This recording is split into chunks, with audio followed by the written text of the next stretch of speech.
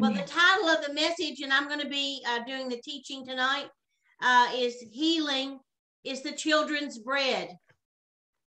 And as we think about eating of the bread of Jesus, uh, I want you to think about those things that you want to uh, get rid of in your mind and in your body and and and those things that you want uh, no part of. And uh, because we are going to be talking about this bread tonight which brings healing and deliverance to us. Uh, we say welcome to jen tonight. Welcome. Hallelujah. Um, the title of the message is Healing is the Children's Bread. Uh, I want to start in Matthew chapter 16, uh, excuse me, chapter 15, where a woman from Canaan comes where Jesus is passing through. And, uh, and she says, Have mercy on me, O Lord. I'm in uh, verse 22 of Matthew 15. Have mercy on me, O Lord, thou son of David. My daughter is grievously vexed with a devil. You know, when Jesus went through uh, the villages and the cities, then he would uh, bring people uh, uh into the light and he would bring healing to their bodies and he would cast out devils and he would raise the dead, cleanse the lepers. And so as he was passing through, people would would come to him because they knew that they could receive something from him. And tonight, whatever we need from him is available to us. If we need peace, if we need hope, if we need joy, if we need deliverance, if we need healing, whatever it might be, it's here tonight in the name of Jesus. So in verse 23, but he answered her. He, he didn't say a word to her. And his disciples came and said, Send her away. You know, she's not part of our group. She's not part of our church group. Uh, just, just send her away. Send her away. You know, and, and I faced many of those types of individuals uh, as we opened up the mission downtown Athens, and as we went on the streets uh, to minister to the prostitutes and the pimps and the drug addicts and the and the alcoholics and those that had mental disorders, uh, we faced uh, this type of criticism and this type of prejudice. You know, just send them away. Just get rid of those those those individuals that need help. And so this is what his, his disciples were saying: "Send her away, for she crieth after us." You know, she's just making a scene. But in verse 20, 24, but he answered and said, I am not sent but unto the lost sheep of the house of Israel. This is what Jesus said. Then came she and worshiped him saying, Lord, help me. She knew exactly how to get his attention, and that has not changed. When we worship him, when we praise him, then he will come and be with us. He will inhabit us. He will just come and and and touch our bodies and touch our minds and and I, I know that's what he what he did for me today. Uh, you know, if we turn over to Psalm 100, this is something that um, I, another person I were talking about this morning. Psalm 100, make a joyful noise unto the Lord, all ye lands. Serve the Lord with gladness. Come before his presence with singing. Hallelujah. Hallelujah. And in, in the Passion translation, it talks about worship here. And it talks about the presence of God being so real when we begin to worship him and praise him. So she she entered in if you will. She entered in, even though she was not uh, a Jew, she was not uh, um, an Israelite, she still entered in. And it says here, and it, uh, she came and worshiped him. But in 26, but he answered and said, If it is not meet to take the children's bread and to cast it to the dogs. See, he's he heard what she said. She says, My daughter has a demon, has a devil. She's messed up. And I need your help. And Jesus said, Healing is the is the but the bread for the children, the children. And she said, True, Lord. Yet the dogs eat of the crumbs which fall from their master's table. And Jesus answered and said, O woman, great is your faith. Be it unto you, even as you have, as you will. And her daughter was made whole from that very hour. She entered in with worship. She got his attention. Hallelujah. And he came in, you know, he he was there and he said, It shall be because of your faith. Because of your faith, this is going to happen. And whatever you need to happen in your life tonight, uh, whether it's in your family, in your finances, in your spiritual life, in your mind, whatever it is, it's going to come through faith. Faith in the Lord Jesus Christ. Hallelujah. And so she began to eat of this bread. You know, and it says that Jesus is the bread of life. That's what it says in, in John 6 48. And I'm going to go to the book of John in just a few moments because we're talking about the bread. Tonight, we're talking about healing is the bread of the children, and that's us. Hallelujah. I can have healing in my body tonight. I can have healing in my mind tonight. I don't have to be depressed anymore. I don't have to go into the pit anymore. I can be totally delivered by faith and believing that Jesus is the bread of life. Hallelujah. But before I do that, I want to turn to Isaiah 53. Isaiah 53 is talking about Jesus Christ.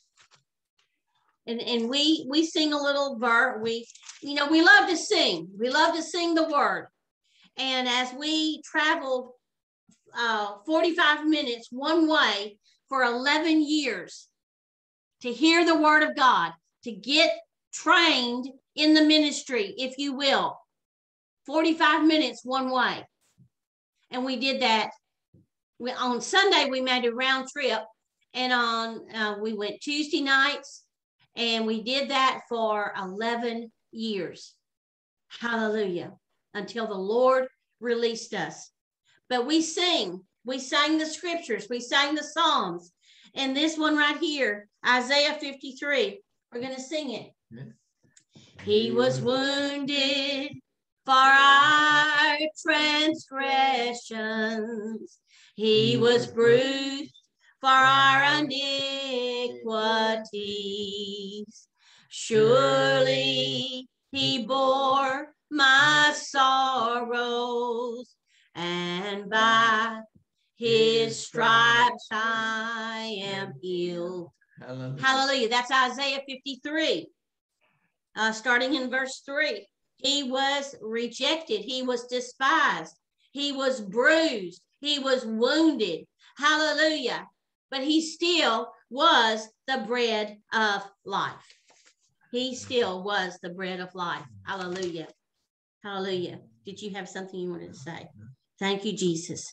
I want to go to to uh, in First Peter two twenty four. We won't turn there, but it says that by His stripes we are healed. See, Jesus was wounded for us, so that we don't have to go through cancer.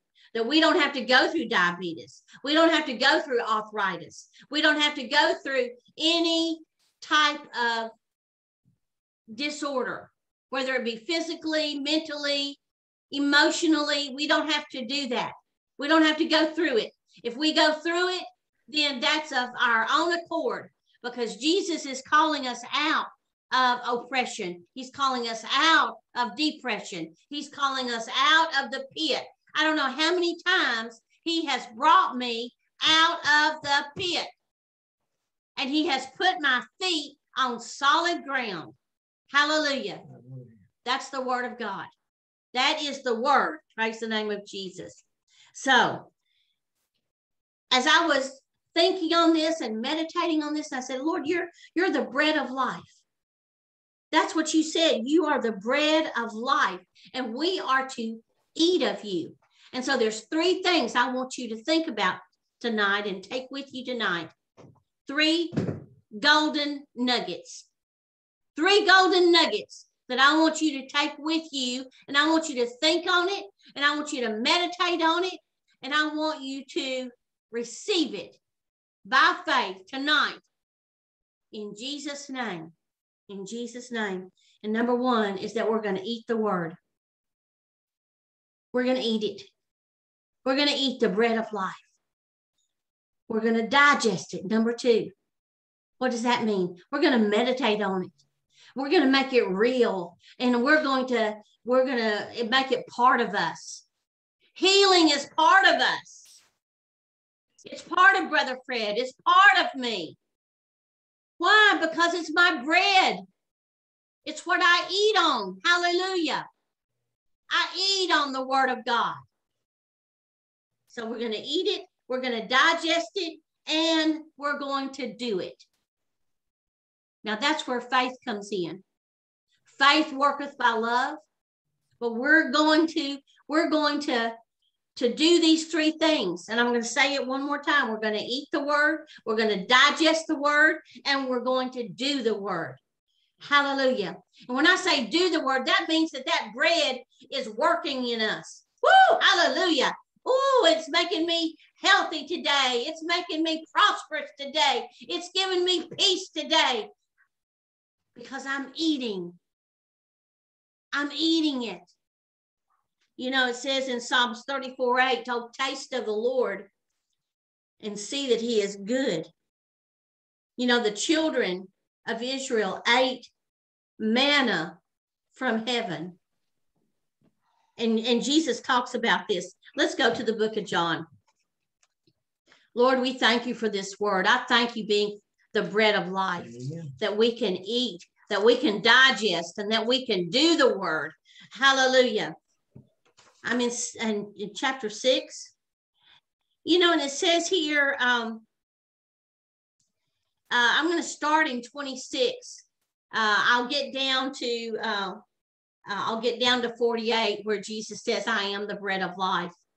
Um, but I want to start in 26, and it says, "Jesus answered and said, Verily, verily, I say unto you, you seek me not because you saw the miracles, but because you did eat of the loaves and were filled. Number 27, verse 27. Labor not for the meat which perisheth, but for the meat which endureth unto everlasting life, which the Son of Man shall give unto you, for he hath God the Father sealed. Then said unto him, What shall we do that we might work the works of God? Now, here is where, remember the little woman in Matthew 15? She came to Jesus. She had no covenant with him, she had no uh, right uh, to come to him, but she came and she received from him. And he said, Oh, woman, your faith is great. You're receiving from me out of your faith.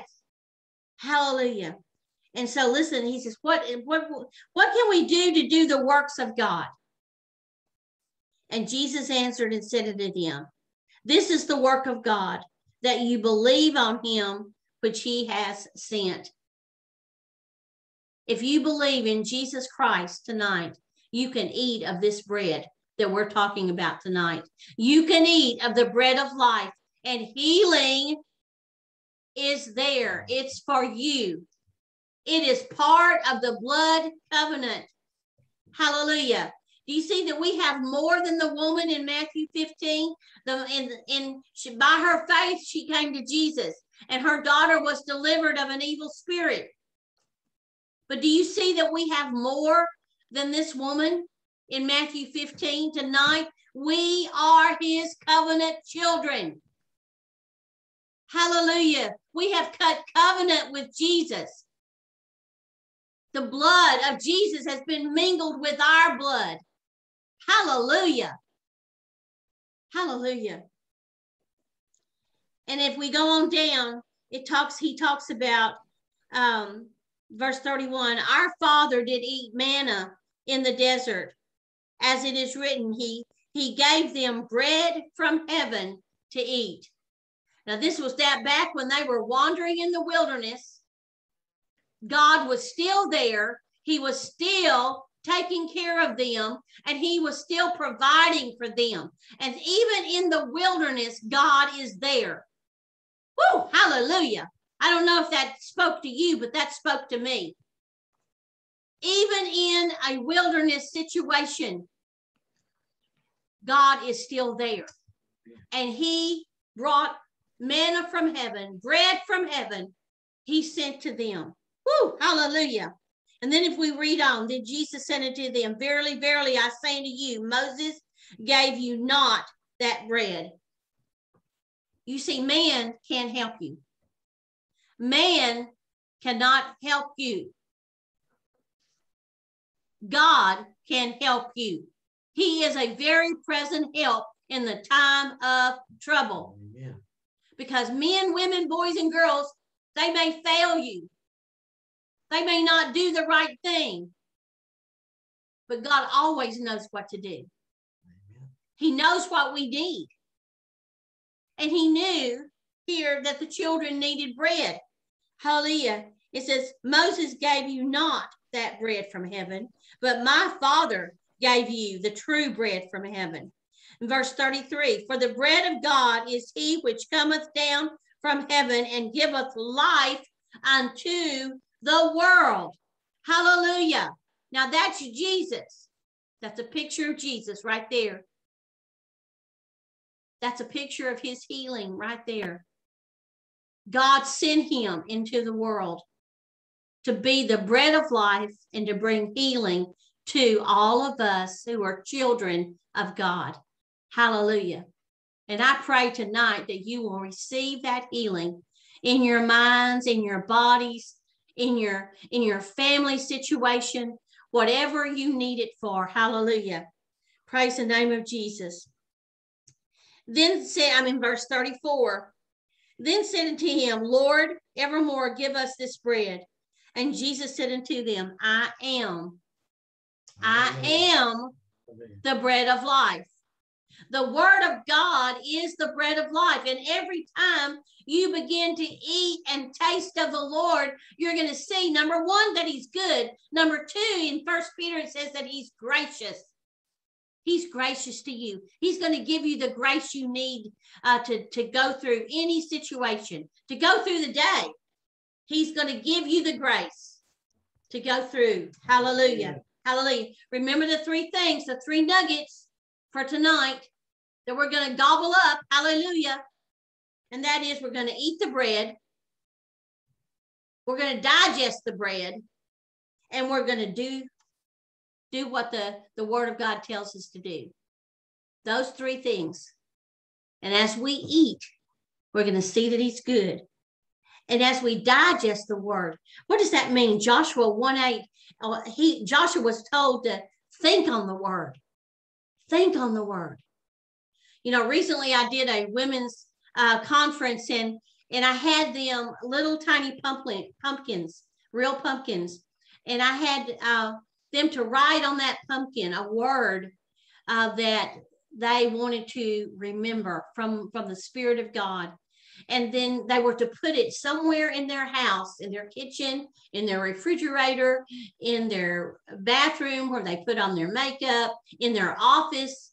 Uh, but they were to place that little pumpkin somewhere where they could think on it all the time. And the word that I put on my little pumpkin, which is in my kitchen on the windowsill, and I look out that window many times during the day, the word that I wrote was abundance.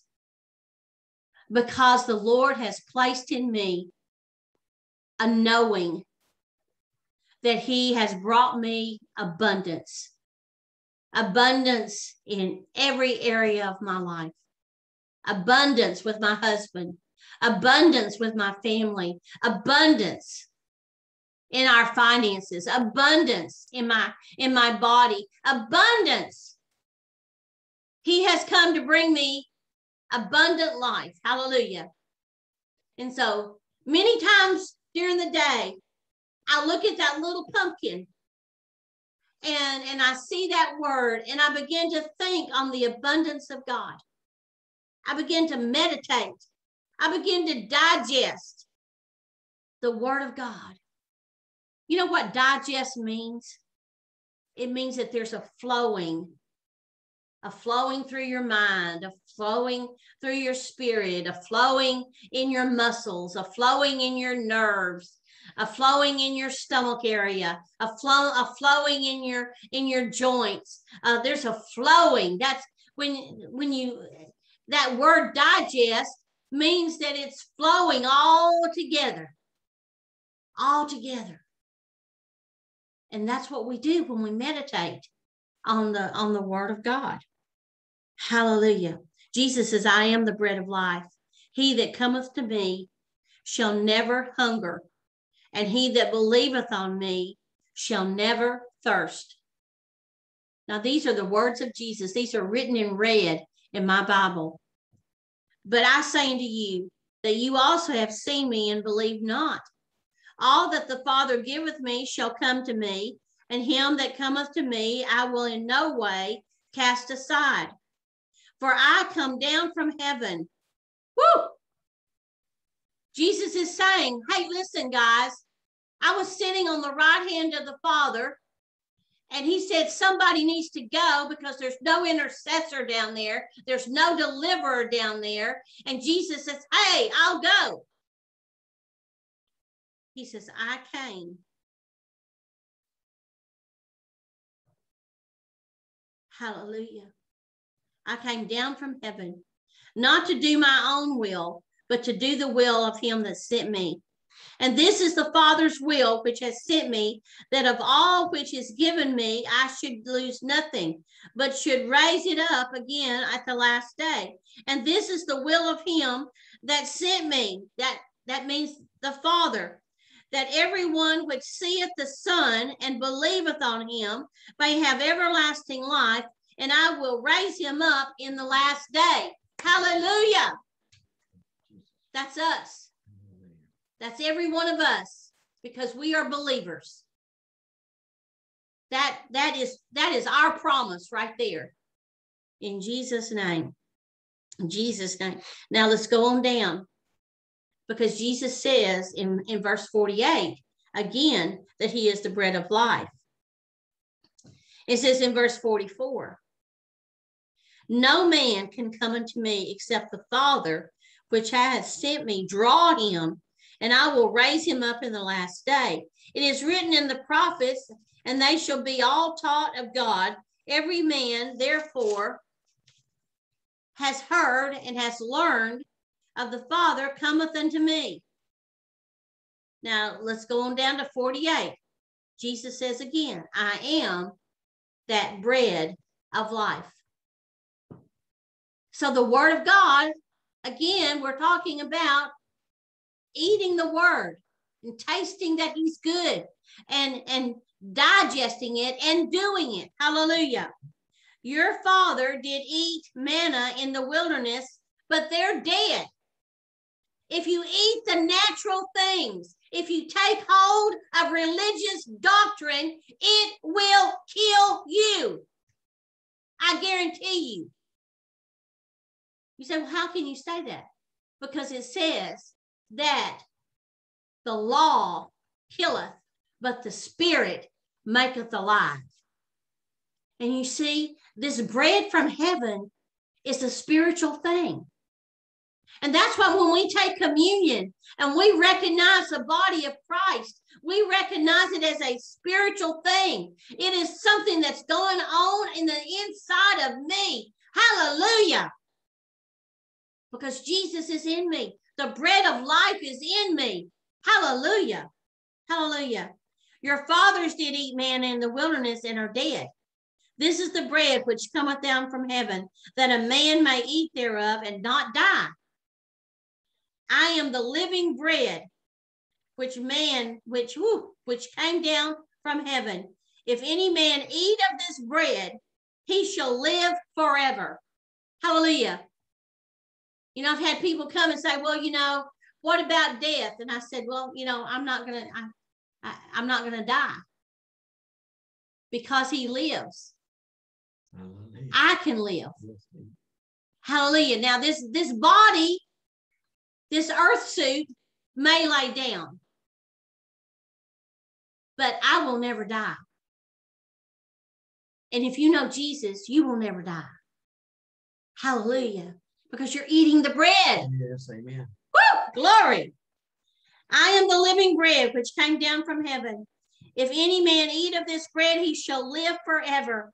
And the bread that I will give to my flesh, which I will give for the life of the world. Hallelujah. Now, if we go on down to verse 56, and this is another thing that we say as we're taking communion. It says, He that eateth of my flesh, that's the word of God, and drinketh of my blood, dwelleth in me, and I in him.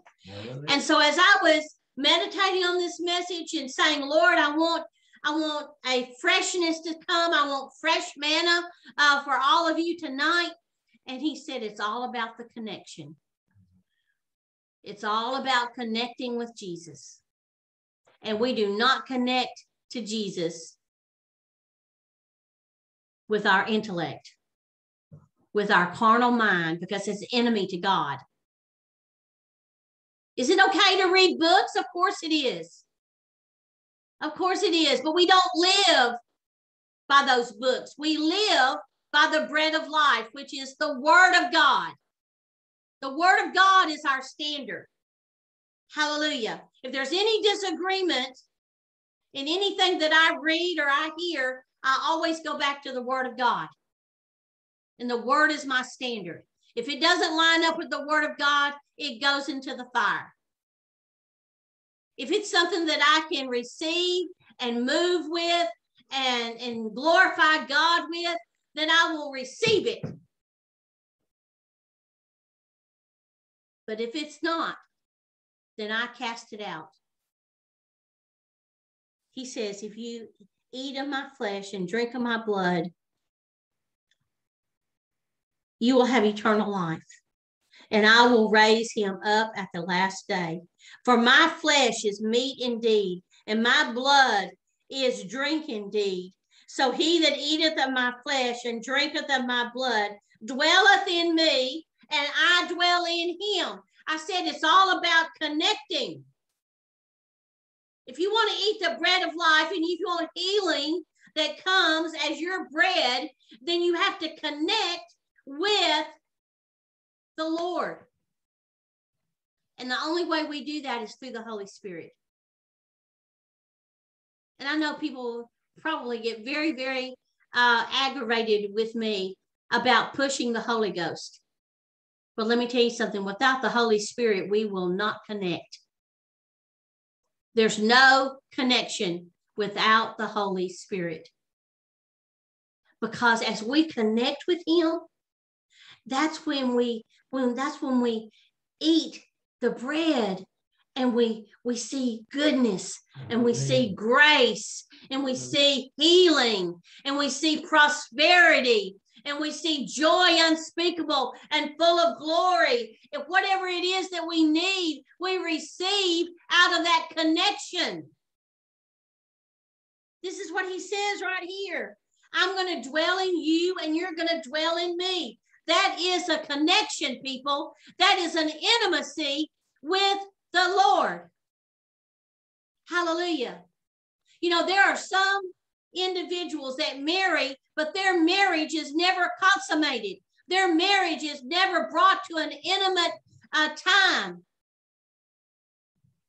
And that's easy to annul. That's easy to get rid of. But once you connect with Jesus, and by eating the word of God, by eating the bread, hallelujah, then healing just comes on you. Hallelujah. Hallelujah. Healing comes. There's two of you. You've had pain in your neck. You've had headaches. In the name of Jesus, receive your healing right now. Eat of the bread. Hallelujah. Eat of the bread that says in First Peter 2:24 that by the stripes of Jesus you are healed. Amen. That is bread. Hallelujah. Amen. Eat of the bread.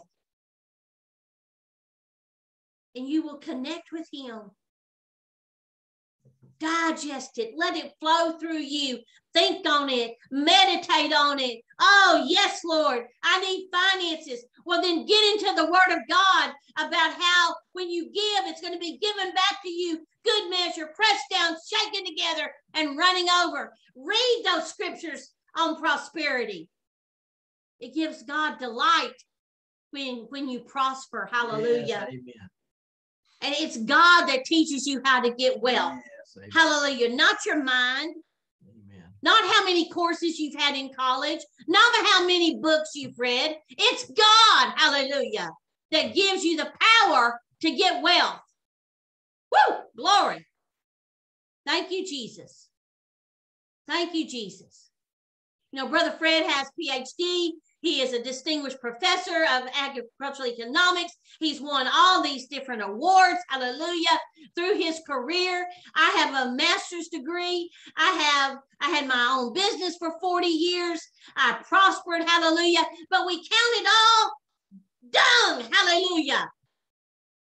Just to know about God's healing just to know about God's salvation, just to know that God is the God that is faithful, hallelujah, that raised up our daughter when the doctor said she's going to die, when raised me up, hallelujah, when three uh, specialists said you have a terminal cancer and you will only live for six months. But God, Hallelujah. Hallelujah. He is my bread. Healing is the bread of the children. Yes, amen. It's for you tonight. Amen. Hallelujah. It's for every one of you, it's for your family. Praise the name of Jesus. You know, uh, George and Joy, I say this to you, and, and I say it out of the abundance of my heart that we give thanks for your family and we give thanks uh, for what you have, uh, the Lord has brought you through. And we give thanks unto the Lord for raising up your family. And hallelujah. Uh, we we give thanks for that. And I know that Sophia may not, she's not, I don't see her face anymore, but I give thanks almost every day uh, for your husband's kidneys. Hallelujah. Uh, that they begin to work and they begin to function. Hallelujah. I give thanks for Lucy and for her for her child that's on the inside of her uh, that's that's going to be uh, healthy and normal and a blessing uh, to that family in the name of Jesus. Amen. Amen. Praise the name of the Lord. The Lord has done so many good things for us. Amen. And to receive the healing in the bread, we must connect with Him. We must let Him dwell in us and we dwell in Him. Amen. Amen. And it says we do the works of God because we believe Yes. in what Jesus Christ did for us. We believe that he gave his body for us on the cross. Amen. You know, just look at that body. That body was bruised and wounded, and the blood ran out of his back, and the blood ran down his face uh, from the crown of thorns. Hallelujah. What does that crown of thorns uh, say to you? It says that I don't have to be anxious about anything. I don't have to go through anxiety. I don't have to go through panic attacks. I don't have to go through depression anymore. I don't have to go through suicide anymore. Hallelujah. Because I believe in that body. Hallelujah. Yes, amen. And the piercing of his side do you know what that was all about? He made an entrance for us. That means that we can go to the throne of grace anytime. We don't need a priest. We don't need a father. We don't need a uh, some type of cardinal. We don't need any. Uh, we don't need um, Mary to go ahead of us. We can go into the throne room. Hallelujah. He made an access. Well, that was in his body. Do you think about his body? And when you think about his body, think about he did it all for you. Hallelujah. He did everything he did. He Thank did you. it for you and me and the whole world. Amen. Hallelujah. Hallelujah. He is the bread of life. Yes, amen. And we eat it every day. Amen. And we meditate. Remember the three nuggets. We're going to eat the word. We're going to digest the word. Some of you are eating the word and you're spitting it back up.